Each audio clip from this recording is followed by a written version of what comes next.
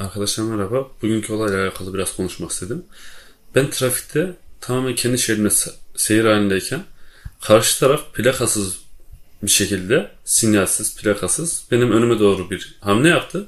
Buna tepki olarak sadece bir kornaya bastım.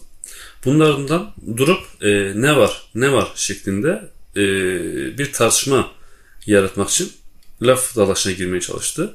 Ardından yol, üst- yol bek- bekleyeceksin dedi. Ben yol vermeyeceğimi belirtip devam ettim.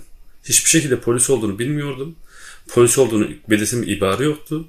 Polis olduğunu bilsem zaten ben en başta yol veririm. Hatta yolu kapatırım onlar için. Olayın devamında tartışmadan ötürü e, yanındaki arkadaşı silah çekip arkamdan koşunca ben aslında orada polisten kaçmıyorum. Orada ileride gördüğüm, 100 metre ileride gördüğüm polis ekiplerine doğru kaçıyorum. Tam polis ekiplerinin yanına doğru kaçıyorum. Ama ardından arkadaş gelip polis olduğunu söyleyince bir olayın şokuyla e, polis misin nesin babında anlamadım babında e, derdimi anlatmaya çalışırken tabi devamlı bağırışlar çağrışlar siz de gördünüz.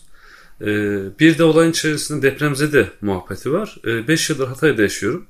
Ama depremzede olup ya da olmamam hiçbir önem arz etmiyor. Çünkü olay kimin başına gelse gelsin depremzede olsun olmasın aynı şekilde e, gerekli yerlere müracaat edilmiştir. Savcılığa video verilmiştir. Umarım e, adalet yerini bulur. E, bu olay tamamen kişiseldir. Herhangi bir teşkilatı ya da bir kurumu bağlamaz. E, karşı tarafla benim aramda geçen bir olaydır. Bu tüm polisleri kapsayan bir durum değildir. Öyle bir yanlış algıda olursun istemem.